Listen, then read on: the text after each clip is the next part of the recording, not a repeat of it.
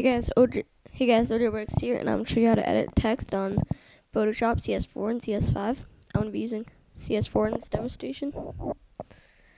First of all, open CS or Photoshop, import a file.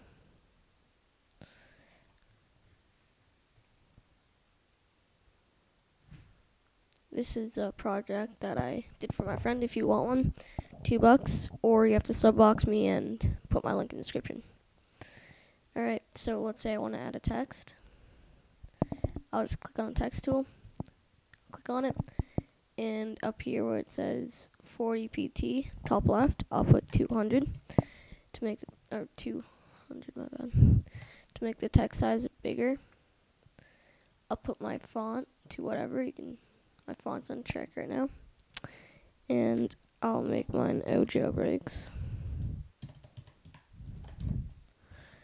Once you're done putting your text wherever you want, double click on it on the whatever, and just check mark drop shadow, inner shadow, outer glow, inner glow, and just change color whatever you want. I'll show you what I can create by just fooling around on it, just by doing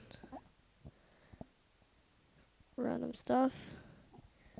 I could make a really nice text easily.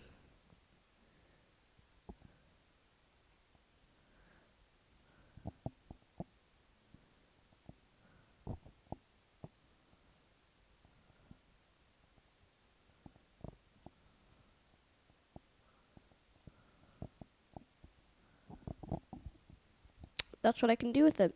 So that's what I created.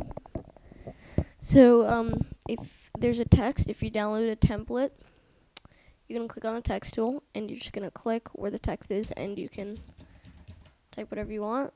And thank you for watching. Oh Jailbreaks.